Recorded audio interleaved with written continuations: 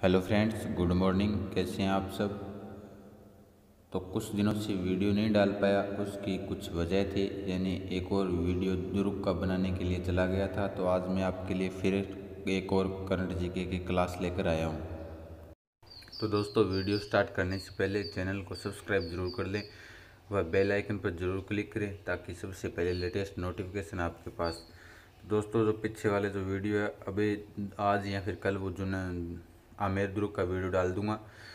तो आज मैं अपनी क्लास शुरू कर रहा हूँ। तो पहला प्रश्न ये है कि इसरो द्वारा चंद्रयान टू किस तारीख को लॉन्च किया जाएगा? यानी कि ये पहले लॉन्च किया जाना था, लेकिन कुछ टेक्निकल वजह से प्रॉब्लम आने की वजह से इसे आगे बढ़ा दिया है।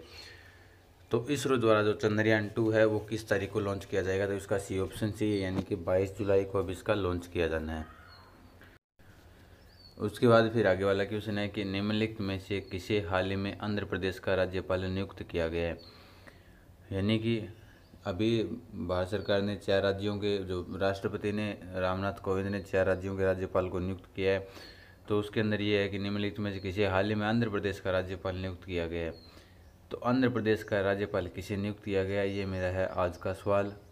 इसको आपको कमेंट बॉक्स के माध्यम से मुझे बताना है। यानी इसका सही उत्तर जो बताएगा जैसे पीछे वाली वीडियो के अंदर हनुमान व कुछ और विद्यार्थियों ने उसके सही उत्तर बताए थे तो मैं उनको गौर नहीं कर पाया, देख नहीं पाया, उन्हें जवाब नहीं दे पाया, क्योंकि मैं आमेर किले का वीडियो बनाने के लिए चला गया था। तो अगर आपने इसी सवाल का आपको उत्तर देना है, जो इसका सही उत्तर कौन सा होगा, वो आपको आज इस कमेंट बॉक्स के माध्यम से मुझे बताना है। आगे वाला क्वेश्चन है जुलाई 2019 में जारी एक दिवसीय अंतर्राष्ट्रीय के लिए आईसीसी बल्लेबाजों की रैंकिंग में पहले स्थान पर कौन है? यानी कि 2019 ने ये जो ओडीआई मैचों की आईसीसी बल्लेबाजी रैंकिंग में जो स्थान किया है, वो पहले स्थान पर कौन है? तो आपको मैं बता देता हूँ, इसका ऑप्शन लगभग रोहित शर्मा कर रहे हैं। रोहित शर्मा नहीं होगा, क्योंकि रोहित शर्मा तो इसी वर्ल्ड कप के अंदर उन्होंने काफ़ी रन बनाए हैं, लेकिन विराट कोहली का अगर रैंक देखें तो काफ़ी ज़्यादा है। तो आईसीसी 2019 में जारी जो एक दिवसीय आईसीसी है ना, उसके अंदर जो रैंकिंग है वो विराट कोहली यानी बी ऑप्शन इसका सही होगा। यानी कि बी ऑप्शन इसका सही होगा क्योंकि आईसीसी के अंदर जो बल्लेबाजों की रैंकिंग में वो विराट कोहली टॉप स्थान पर हैं। उसके बाद बात करें प्रत्येक वर्ष 18 जुलाई को निम्नलिखित में से कौन सा दिवस मनाया जाता है? सबसे महत्वपूर्ण क्वेश्चन है कि प्रत्येक वर्ष 18 जुलाई को, यानी कल ही के दिन, जैसे आज 19 जुलाई है तो कल ही के दिन जो दिवस मनाया गया था, वो किसकी याद में मनाया गया था? कौन सा दिवस मनाया जाता है तो सबसे महत्वपूर्ण ये। तो 18 जुलाई को जो दिवस मनाया जाता है, वो नेल्सन मंडेला दिवस मनाया जाता है। ये नेल्सन मंडेला, आप जानते ही होंगे, इनका संबंध दक्षिण अफ्रीका से है। यानी कि दक्षिण अफ्रीका के ये पहले अश्वेत राष्ट्रपति थे, यानी उन्नीस सौ चौरानवे के लगभग ये राष्ट्रपति बने थे। कई बार ये जेल भी गए थे। तो उन्हीं की याद में अंतर्राष्ट्रीय संगठन ने 18 जुलाई को नेल्सन मंडेला दिवस मनाना प्रारंभ कर दिया। और आपको बता दें, नेल्सन मंडेला को दक्षिण अफ्रीका का गांधी भी कहा जाता है। तो प्रश्नों को साथ साथ में नोट भी करें, लिख भी लें, ताकि आगे आने वाली परीक्षा के लिए बहुत ही महत्वपूर्ण क्वेश्चन है। यानी करंट अफेयर से संबंधित सबसे ज़्यादा प्रश्न है। जैसे देखो, आगे आगे वाला क्वेश्चन है कि निम्न में से कौन सा राज्य देश की जल नीति पेश करने वाला पहला राज्य बन गया? यानी कि निम्न में से कौन सा राज्य देश में जल नीति पेश करने वाला पहला राज्य बन गया। तो इसका सही उत्तर है मेघालय। यानी कि मेघालय है जिसने जल नीति पेश करने वाला पहला राज्य बन गया। जैसे पीछे वाले वीडियो के अंदर मैंने भी आपसे एक प्रश्न किया था कि कौन सा देश था जिसने जलवायु आपातकाल घोषित किया था? तो जल नीति पेश करने वाला पहला राज्य मेघालय है। और मेघालय की राजधानी है शिलोंग। और मेघालय के मौसम राम या फिर चेरापूंजी में भारत का सर्वाधिक वर्षा वाला क्षेत्र है। यानी वहाँ पर 1100 सेंटीमीटर के लगभग वर्षा होती है। उसके बाद बात करें आगे वाले क्वेश्चन की तो आगे वाला क्वेश्चन ये है कि हाल ही में कौन सा देश अंतर्राष्ट्रीय सौर संगठन में शामिल होने वाला छंतरवा देश बन गया? है बहुत ही महत्वपूर्ण प्रश्न है कि हाल ही में कौन सा देश है जो अंतर्राष्ट्रीय सौर संगठन में शामिल होने वाला छंतरवा देश बन गया है? तो इसका सही उत्तर है, पलाऊ देश है, यानी डी ऑप्शन इसका सही उत्तर होगा। यानी पलाऊ देश है, उसने अंतर्राष्ट्रीय सौर संगठन में शामिल होने वाला छंतरवा देश बन गया है। तो बात करें अंतर्राष्ट्रीय सौर संगठन का मुख्यालय कहाँ पर है? तो अंतर्राष्ट्रीय सौर संगठन का जो मुख्यालय है, वो गुड़गांव, हरियाणा के अंदर है। यानी कि अंतर्राष्ट्रीय सौर संगठन का मुख्यालय वैसे माने तो भारत के अंदर, अगर भारत की बात करेंगे तो हरियाणा, गुड़गांव के अंदर इसका संगठन है। तो बहुत ही महत्वपूर्ण प्रश्न था ये सत्तरवा देश है, पलाऊ।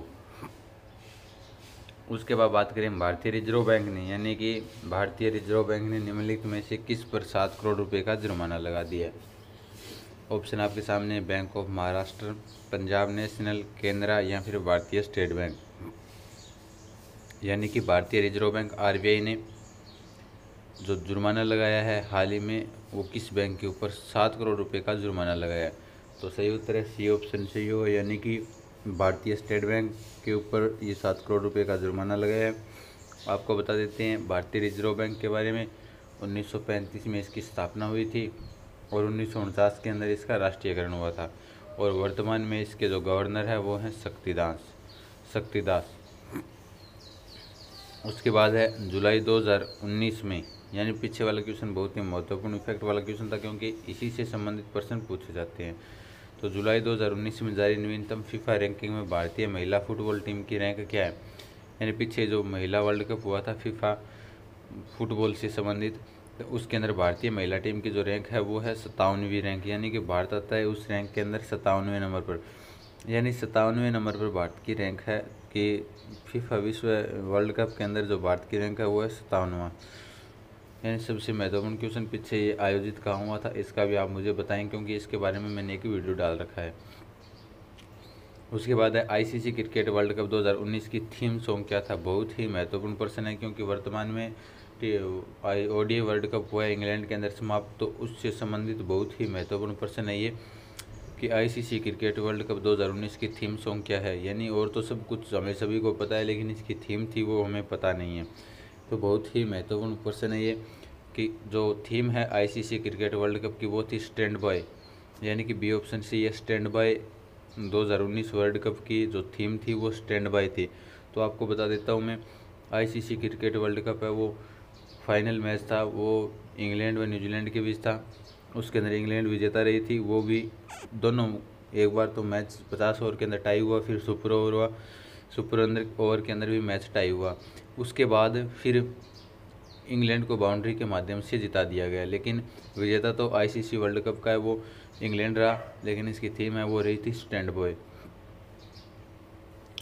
उसके बाद आगे वाला क्वेश्चन, यानी आई एस एस एफ़ विश्व कप 2020 की मेज़बानी कौन करेगा? यानी इंटरनेशनल स्पेयरिंग स्पोर्ट्स फैक्चिंग यानी विश्व कप 2020 की जो मेज़बानी है वो कौन करेगा? तो जो इसका सही उत्तर है, जर्मनी करेगा या फिर भारत करेगा या फिर जापान या अमेरिका तो 2020 की जो है, इसकी जो मेज़बानी है वो भारत करेगा यानी बी ऑप्शन इसका सही उत्तर होगा।